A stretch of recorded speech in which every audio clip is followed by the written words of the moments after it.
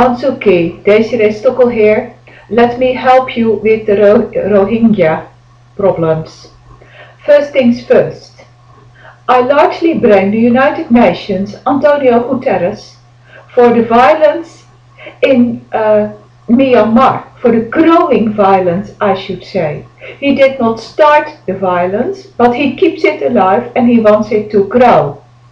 Antonio Guterres has the legal obligation to make the United Nations operate more professionally and more legally correct.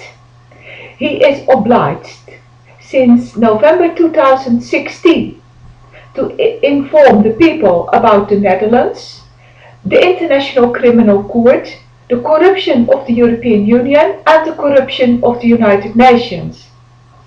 He is obliged to explain to the people that planet Earth has a new court system and he must make every nation on Earth to work with the arbitration court system that obliges every single individual to submit a problem-solving solution for a conflict with an arbitration court on national territory.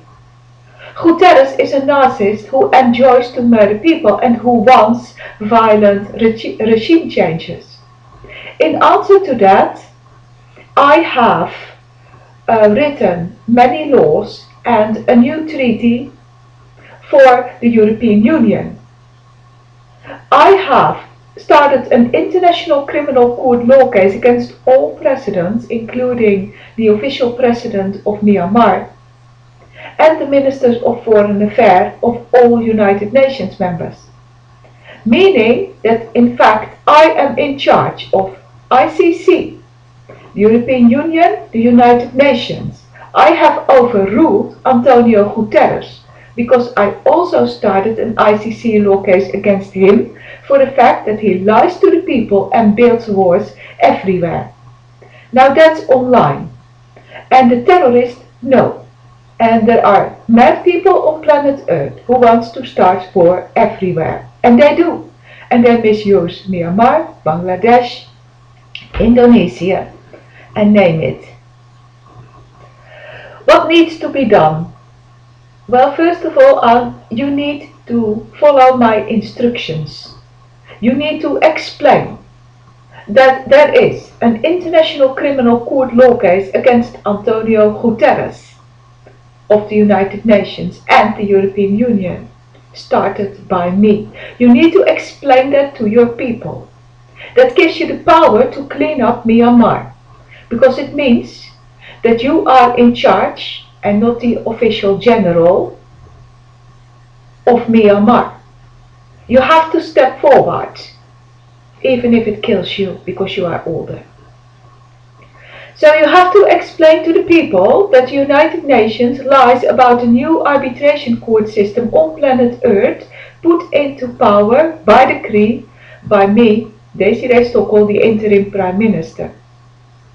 Then you demand that that court system is being implemented and conducted by all the people in Myanmar immediately, also by the Rohingya people.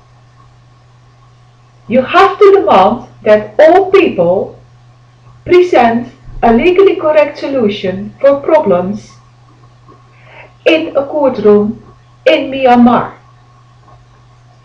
Having done that, you write a national protocol for the new European Union.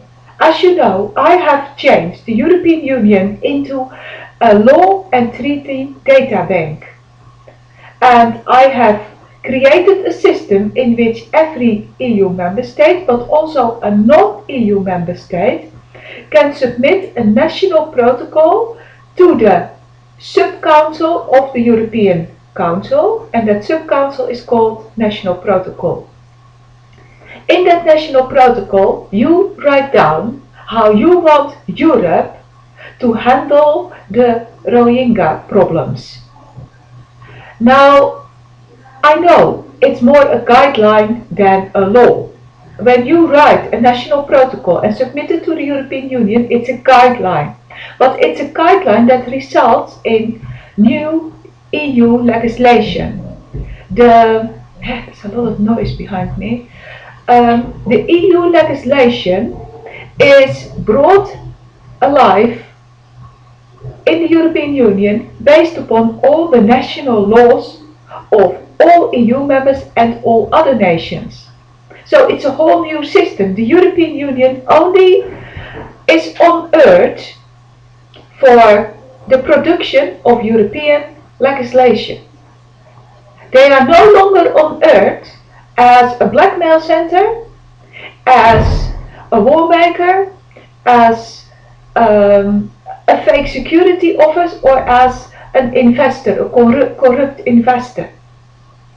So I have cleaned up earth. I have stopped very evil people.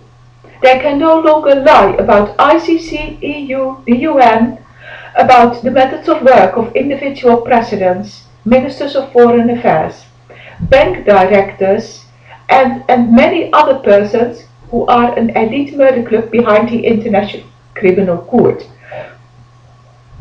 That means that if you want to have power, you can have all the power you want. And you can actually make the Rohingya people obey you. You just have to do as I did, and that's clean up, stop people from being evil, clean up the country, and make people operate in a new problem solving system. I know you read my emails, I know you watch my videos. I also know that you are under a lot of pressure and that you get the blame for everything.